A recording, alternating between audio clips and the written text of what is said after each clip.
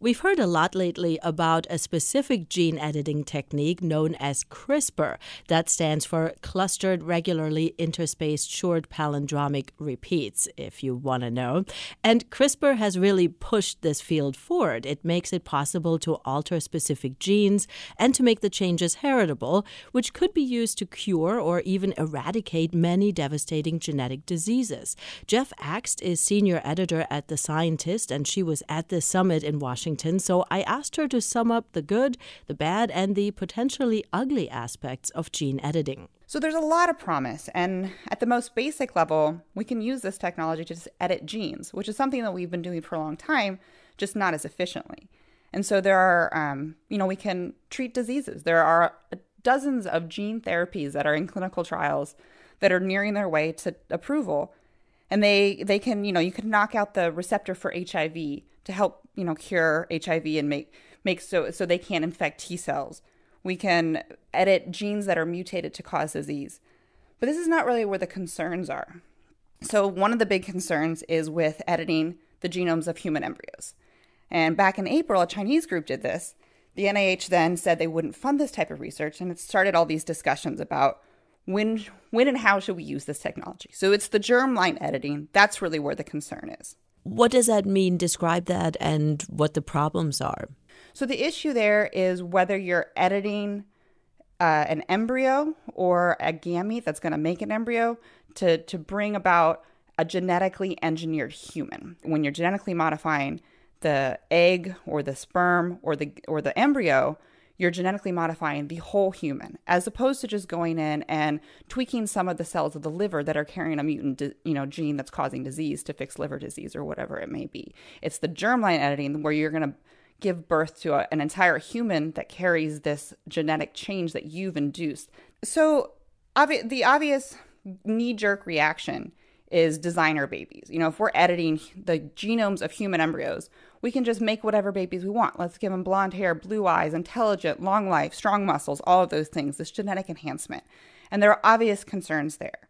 Several speakers referenced Aldous Huxley's Brave New World in terms of government totalitarian control. There was a whole talk on eugenics. So these are like the the big fears, the fear mongering issues. But there are even human germline editing, the one that is causing all these fears, there are real applications for that as well.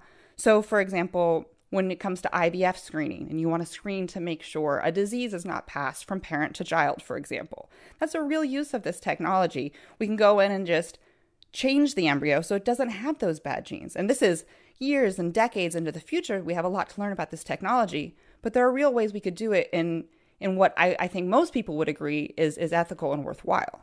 In terms of gene editing, how much of this is already happening and in use, and how much of this is future talk? This is pretty much all future talk. So, the closest we're at um, to using precision gene editing technologies uh, in in medicine today would be those gene therapies I mentioned. These are currently going through clinical trials, but they've used other types of technologies to edit their genes. Most of the stuff that we've talked about just now is is far into the future. There's so much that we don't know about this technology. There's really a lot of basic research that still needs to be done. So near future means what? Five years, ten years? Uh, yeah, I, I, guess that would probably be a good guess. So the the gene therapies are still in clinical trials, um, and so it's probably going to be another few to five years before we even see any gene therapies approved at all. And once those are approved, you know, people research are going to start incorporating the precision gene editing technologies to make those therapies more efficient and effective. So yeah, maybe 10 years at the at the nearest to, to see some CRISPR application in medicine. Um, and that's again not not touching on germline human editing, which would be years and years into the future. Gene therapies got off to a rough start with trials that went terribly wrong and then it came kind of to a complete halt. How does that history play into the excitement that we have right now?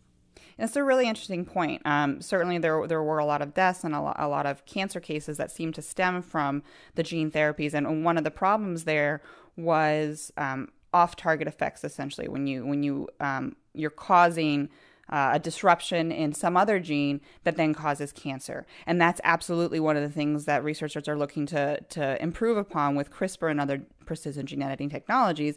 And even, you know, now that those are more precise, they're still looking to improve upon those even more. So certainly there are lessons to be learned from the gene therapy field uh, in terms of off-target effects and, and patient safety.